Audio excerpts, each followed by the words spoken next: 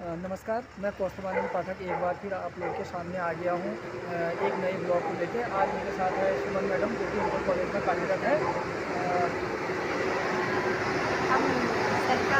देखते रहते हैं और भी जानकारी ये आजकल जो इतिहास के बारे में बता रहे हैं गाँव का इतिहास बता रहे हैं। जो रोचक जानकारी हमको दे रहे हैं ये हमें बहुत पसंद आ रही है और हम लोग तो इनका ब्लॉग देखते रहते हैं और हम उम्मीद करते हैं कि हमें ये जो इतिहास है उसके बारे में ये बताते रहें ताकि आने वाली पीढ़ी अपने इतिहास को समझे अपनी संस्कृति को जाने। तो हम धन्यवाद देना चाहेंगे अ, सरकार की वो इतनी बारीकी तरीके से बारीकियाँ बता रहे हैं हमें इतिहास की जो शायद हम लोग भी नहीं जानते हैं। तो हम बहुत बहुत धन्यवाद देना चाहेंगे सरकार मित्रों, आज मैं आपको चिंगम के इतिहास के बारे में बताऊँगा।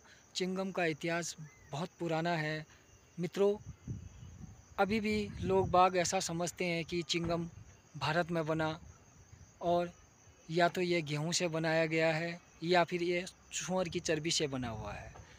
मित्रों, वास्तविकता तो यह है, चिंगम का इतिहास बाहर से है।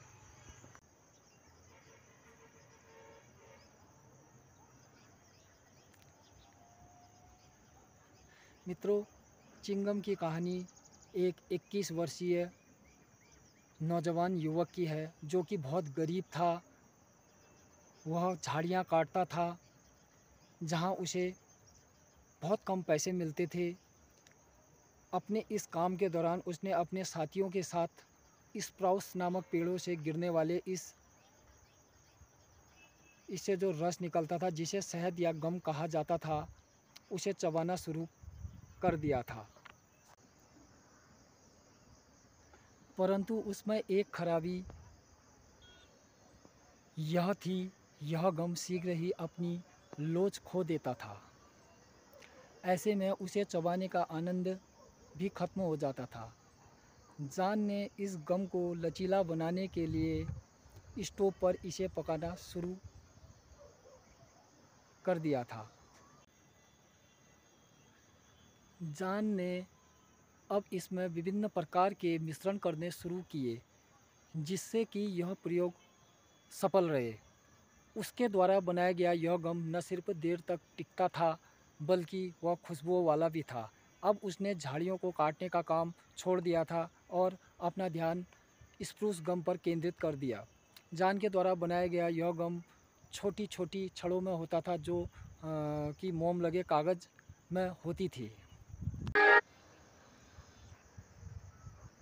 जान के द्वारा बनाया गया यह गम छोटी छोटी छड़ों में होता था जो मोम लगे कागज़ में होती थी। शीघ्र ही जान को ख्याति मिल गई। अब जान हज़ारों डॉलर कमाने लगा। अपने इस आश्चर्यजनक उत्पाद से जान ने अपने व्यवसाय में पहले वर्ष में ही पाँच हज़ार डॉलर शुद्ध लाभ के रूप में प्राप्त किए और यह चिंगम विश्व प्रसिद्ध हो गया।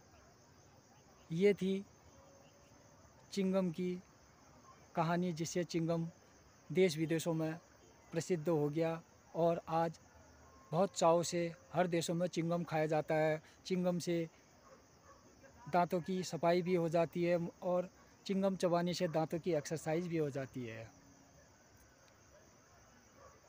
चिंगम बनाने वाला कोई और युवक, कोई और नहीं, बल्कि 21 वर्षीय नौजवान जॉन वी कर्टिस था। आ, मैं सुमन मैडम का बहुत बहुत धन्यवाद देना चाहता हूँ जो कि आज ये हमारे बीच में उपस्थित हुई और इन्होंने हमको आगे को इतिहास के बारे में बताने के लिए कहा है। इसी के साथ मैं आपका बहुत बहुत धन्यवाद करना चाहूँगा और ये उम्मीद करना चाहूँगा कि आप आगे को भी हमारे साथ वीडियो में उपस्थित होंगी और और को भी प्रोत्साहित करेंगे। धन्यवाद। मेरे साथ आज मौजूद थी सुमन मैडम, जो कि इंटर कॉलेज में लेक्चरर है। ये बहुत पहले से हमारे चैनल में आना चाहती थी। समय की कमी के चलते ये आ नहीं पाई थी, लेकिन आज इनकी ज़िद्द थी कि मैं इनके चैनल में आऊँगी। तो आज ये हमारे चैनल में मौजूद थी। मैं इनका बहुत बहुत शुक्रिया अदा करना चाहता हूँ। और मैं आपसे फिर मिलूँगा एक नए वीडियो को लेके। तब तक धन्यवाद। बाय बाय नमस्कार.